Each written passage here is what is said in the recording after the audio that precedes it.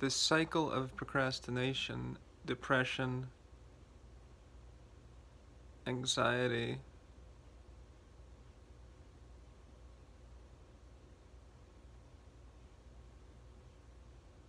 self doubt.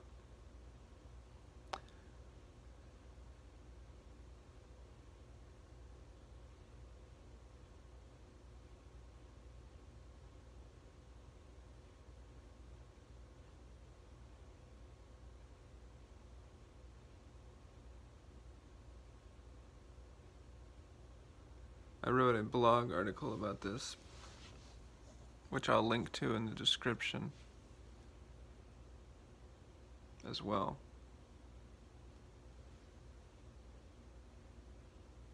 Stop seeking pleasure and instead instead of seeking pleasure are you seeking pleasure as a way to procrastinate and nullify your own thoughts but your thoughts your anxieties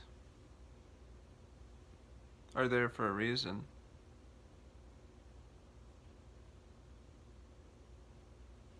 Seek effortless action instead of pleasure. Because in effortless action, you are aligned. Your energy is aligned.